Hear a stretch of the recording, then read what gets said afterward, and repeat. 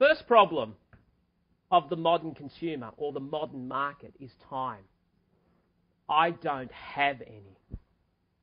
Hence why Twenty20 cricket is always going to be a spectacularly successful, and it is, it is only a matter of time until it dominates the cricket scene.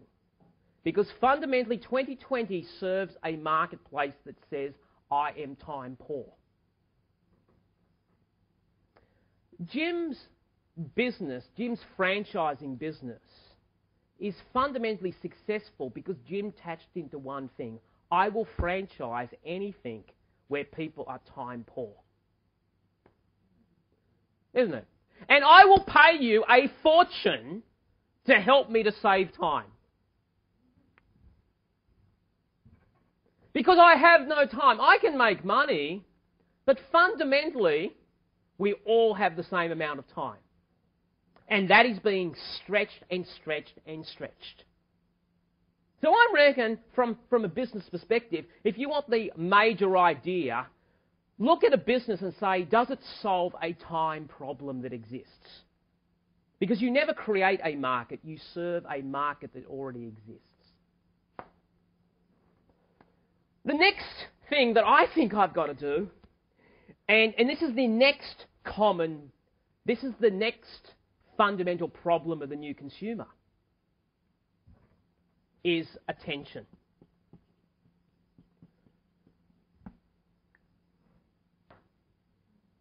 Does the new consumer have the same quality? Absolutely not. Not only won't they trust you, they will tell the world that they don't trust you. And Michael Dell learned that very valuable lesson. Because Michael Dell one day decided that there was a particular gentleman called Jeff Jarvis. Great book called What Would Google Do? Fantastic book. He was pissed with Dell. And he took his own destiny in his own hands he wrote a blog about his experience. He just blogged it. And he had 652,000 posts of people who had problems with Dell. The organisation fundamentally forgot that the cat has a voice.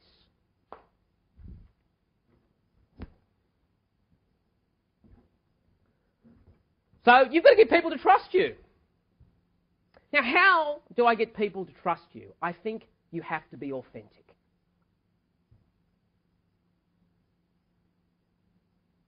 Personally, I'm sick, I'm tired of wolves in sheep clothing. That's my bugbear. I've seen too much of it. It's a load of shit.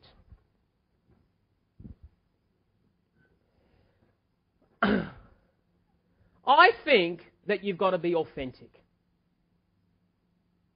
I actually think that you have to be less than perfect. Because people are drawn by your vulnerability, not your perfection. I also think that what you have to do is that you actually have to have social proof driving through. What's that social proof? The power of testimonies. Because I don't believe you but I will believe what others say about you.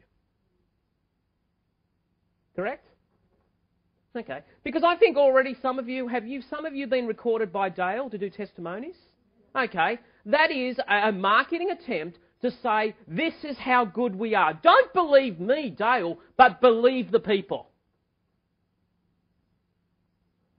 Of course, you should be doing video testimonials because video testimonials are inherently more powerful because they operate on the principle of passion, which is sometimes difficult to get in the written word. They are visual, auditory, and kinesthetic and operate on all modes of communication operating at the same time. Pretty powerful stuff. So I reckon I've got to get testimonials there. I reckon I've got to do things like case studies. I reckon I've probably got to have FAQs, frequently asked questions. Don't you agree? Because fundamentally, really, if I can solve these problems of time, attention, and trust, then effectively, I'm going to have people who are actually going to start promoting my brands and products for me. It is the most powerful form of marketing. Now, let me just explain to you also something else about the new consumer. I, I told you before that your responsibility was to market to me emotionally. Um, and effectively, um, your responsibility, we always buy, we always buy emotionally. So fundamentally, you're investing in my heart. Your responsibility is not to send a message to my head. Your responsibility is to massage my heart. And here's what I'd like to tell you about not everyone has the same heart as you.